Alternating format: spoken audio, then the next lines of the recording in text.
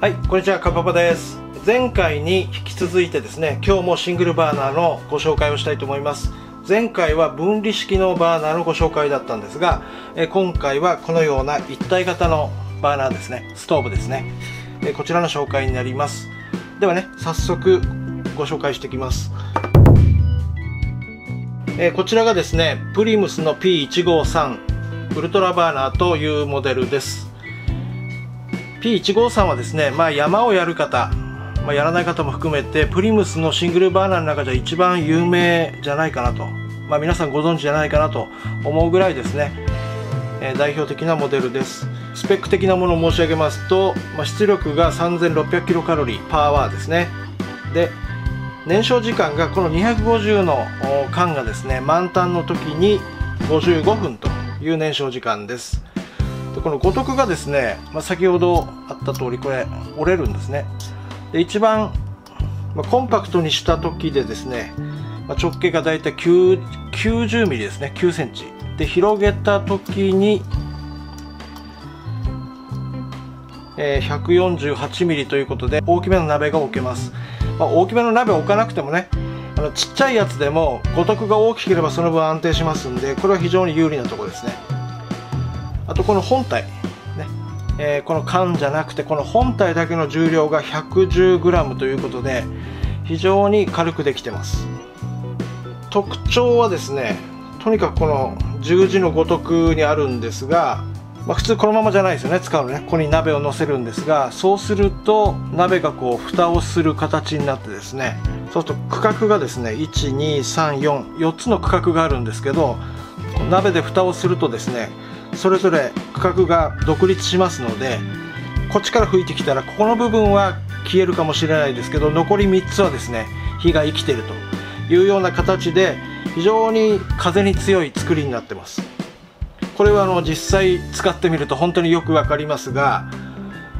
非常に3600キロカロリーというパワーをなるべくですね殺すことなく、まあ、熱をですね、まあ、鍋に伝えるという働きを持ってます。まあ、パワーがあってでしかも軽くてですねでしかも非常にコンパクトになると。多分ねこれ人気投票するとナンバーワンだと思うんですがそれぞれ素晴らしい特徴を持ってます。一言で言うとまあ悩んだらこれを買ったけと、まあ、いうようなストーブになりますね。ちょっとあのこの部屋ですねあの先ほど換気扇回しまして換気は OK だと思いますんでちょっと火をつけていますね。ちょっと分かりづらかったら申し訳ないんですがこんな感じです。じゃあコックを開きます。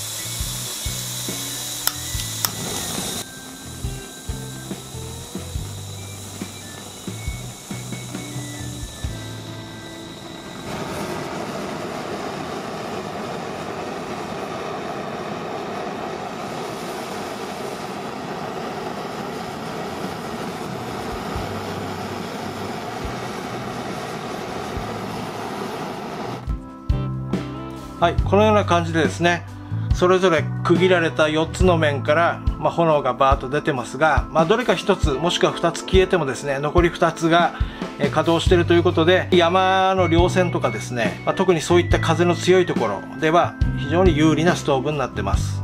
はいじゃあ続いての紹介です。はい続いてですねまた同じくプリムスのモデルなんですがこちらのモデルは P115 フェムストーブというモデルになります。非常にコンパクトですね。こちらはですね出力が2100キロカロリーということで先ほどの P153 こちらと比べて3分の2ぐらいの出力になります。で燃焼時間は満タンの250の缶を使ってですね約80分と燃焼時間になります。五徳がですねこれ最大広げた状態でも直径でいうと 80mm8 センチぐらいなんですね。ですからこっちの P153 と比べてですね、まあ、だいぶコンパクトにできてます。ですので乗せるですねクッカーも、まあ、その分ちっちゃいものになりますね。で何せですねこれの一番の特徴は軽さです。57g ということでこちらの P153 の約半分の重さになります。ちょっとねこれはデメリットも当然あるんですが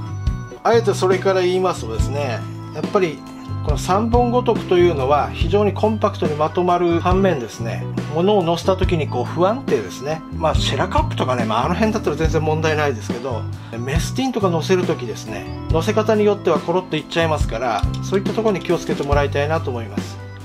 まあ、メリットも多くてですねとにかく軽くてコンパクトだということと小型のクッカーに収納可能だというとこですね。特に軽いというのはまあ登山の道具の中では、ね、軽さは正義ですから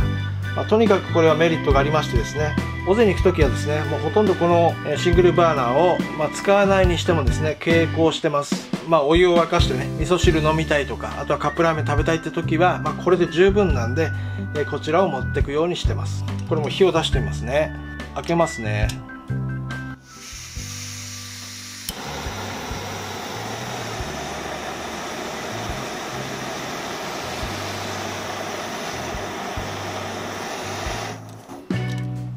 はい、えー、見ていただいた通り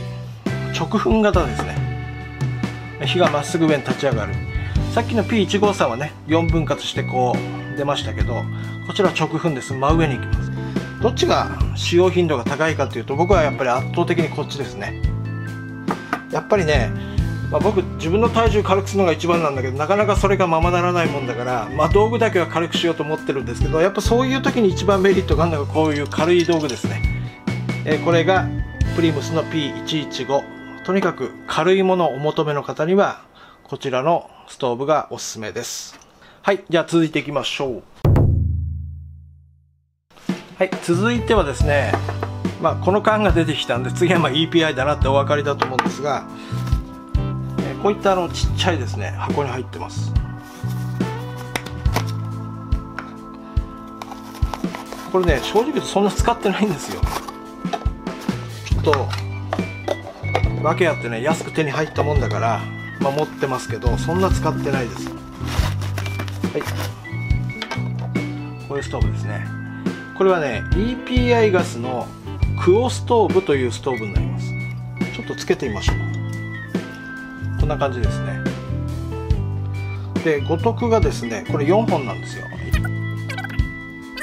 4本ごとくになります。これねよく見ていただくと分かるんですけどほとんど使った形跡ないでしょ。僕もね1回ぐらい試しに火つけただけでほとんど使ってないんです。まあスペック言いますと出力が2300キロカロリーということでこちらの P115 よりもちょっとだけ出力が高いですねでね燃焼時間がこの大きさの缶を使ってですね120分なんで120分って言うんだら2時間も大丈夫なのっていう感じするんですけど、まあ一応カタログにはそうなってます。で、五徳がですね、先ほど申し上げた通り、そんな広くないですね。これがだいたい直径がですね、105ミリってことで10センチですね。で、これ自体の重さが 98g あります。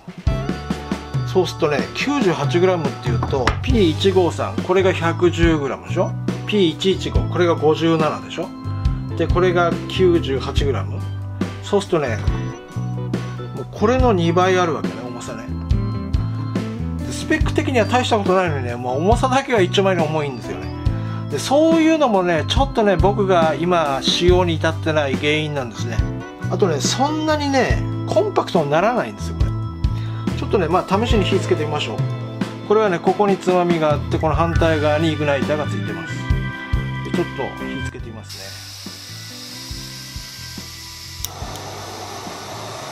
はい、こんな感じですね。これはですね、まあ、見た通り直噴型ですね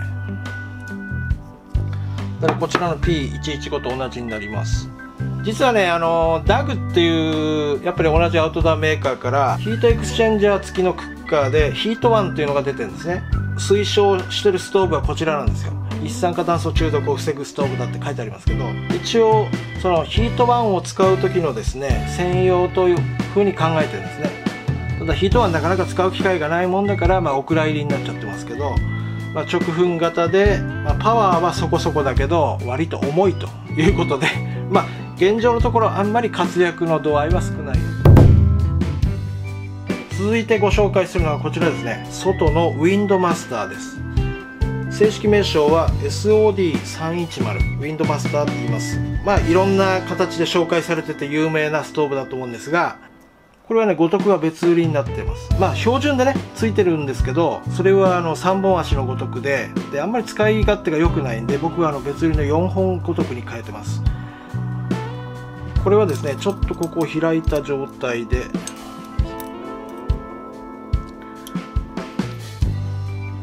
でこの首の根元のところにですねここを挟み込ませます。こんな感じですね。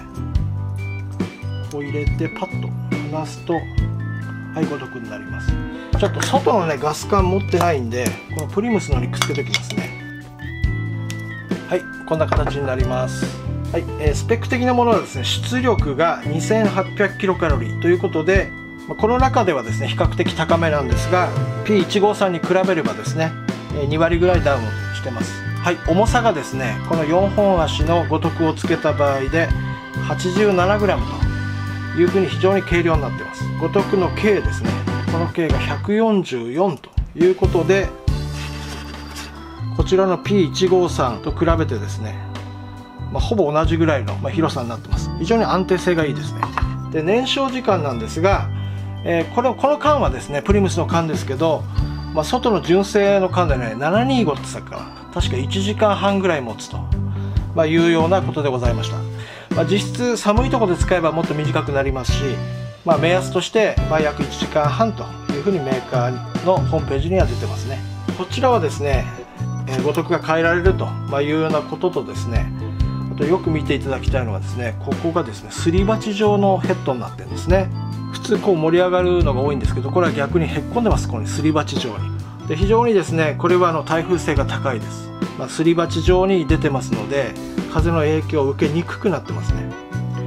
でそのことはですねこれ知ってる方非常に多いと思うんですが昔やってたあの番組で矛立てっていうのがありましてね、まあ、最強のバーナーかどうかを決めるのがありましてですね、まあ、それで勝ったということで一気にこのストーブの名前が売れることになりました。あとえっ、ー、とね2013年の、えー、グッドデザイン大賞でしたっけ？あれを受賞してます。非常にデザイン性も高いということですね。あとねまあいい面だけではなくて、はい、こちらと比べると一目瞭然なんですが非常にあのバーナー面が高いですね、えー、腰高になってます。まあその分ちょっと安定性に欠けるところはあります。アウトドアですからもともとね転げやすいところでやってますんでちょっとこの高さは短い方がいいかなと。いわゆるこの部分ですね。ここは短い方がいいかなというふうに思います、はい、じゃあね、え火をつけてみましょう。はいじゃあこちら見てください。えこちらつまみがここにあってこのつまみの横にですねイグナイターがついてます。結構遊びがあるんですね。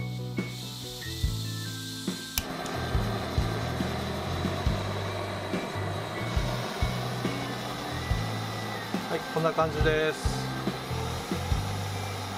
ですり鉢状すり鉢状の中でね燃えてますよね。はいこちらがですね外のウィンドマスター。まあ、直噴型でですねシングルバーナーの中では最もおそらく風に強いんじゃないかと言われております。じゃあ以上ね4つのモデルをご紹介しました。こちら向かって右からですねプリムスの P153 同じくプリムスの P115、えー、こちらが EPI ガスのクオストーブでこちらが外のですねウィンドマスター、えー、SOD310 ですね。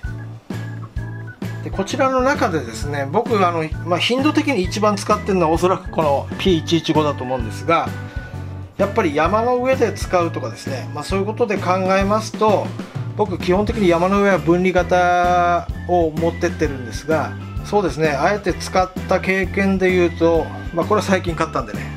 ですけどやっぱり P153 ですかね。基本的にどこ持ってってもこう安心感がありますね。だいたい2500600あたりの天板あたりで使うことが多いんですけどそうですね。寒さや高度関係なく安定して燃えてくれるのが P153 だと思います。で HRQ はこの P115 でクオストーブはねちょっと僕は使いこなせてないかどうか分かんないんですけど今のところ僕はあのなかなか使う機会がないですね。でウィンドマスターに関しては、まあ、前々から欲しいと思ってて、まあ、最近手に入れたんですけどほとんどまだ使ってないもんですからこれからちょっとこちらをですねメインに使ってって、まあ、どんな感じなのかなっていうのをですねまた動画にしてお届けしたいというふうに思います。はいそれではですね、えー、今回はシングルバーナーの立体型のストーブのご紹介でした。はいありがとうございました。